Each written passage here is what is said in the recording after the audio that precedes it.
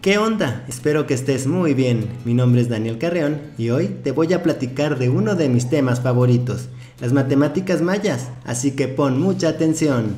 Los mayas formaron parte de la civilización mesoamericana, ubicándose en América Central, en lo que hoy es Tabasco, Chiapas, Campeche, Yucatán, Quintana Roo, Belice, Guatemala, El Salvador y Honduras.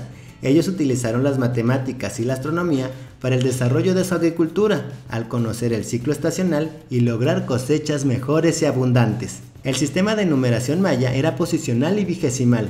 Las rayas y los puntos eran la base para escribir los números. Este sistema de numeración era igual al que otras civilizaciones de esa época usaban, solo que cuando los mayas lo adoptaron, le agregaron un símbolo para representar el cero, aunque no para usarlo en cálculos, solo para designar la falta de un número en alguna posición. Hasta el momento, es la aparición más temprana conocida del concepto del cero en el mundo. Su sistema de numeración lo empleaban para medir el tiempo, no para hacer cálculos matemáticos. Por eso tiene una relación con el calendario maya y con los días, meses y años. Tenían tres maneras de representar gráficamente los números, solo del 1 al 20, incluyendo el 0.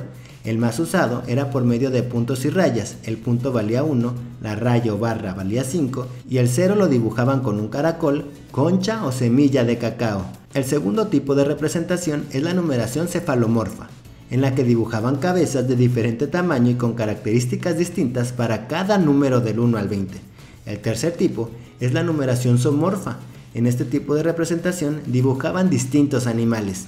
Los números los escribían de abajo para arriba. Cuando el número era mayor a 20 agregaban un nivel hacia arriba o los que fueran necesarios para poder expresar cualquier número, empleando hasta cuatro niveles. Cada nivel era multiplicativo. Por ejemplo, en el primer nivel se multiplicaba el número escrito menor o igual a 20 por 1, en el nivel 2 por 20, en el nivel 3 por 400 y en el nivel 4 por 8000. Los mayas, al igual que los aztecas, crearon un calendario que dividieron en dos, el calendario solar dividido en 18 secciones con 20 días cada uno y un calendario religioso con 20 ciclos de 13 días cada uno. Fuera de este calendario no hicieron mayores aportaciones a la astronomía, pero en las matemáticas los mayas fueron la primera civilización que documentó el uso del cero en América y con una representación gráfica muy semejante a la actual. Facilísimo, ¿verdad? Espero que este tema te haya gustado. Por favor, regálame un like, comenta, compártelo y suscríbete para que puedas seguir viendo mis videos. Nos vemos la próxima. Hasta luego.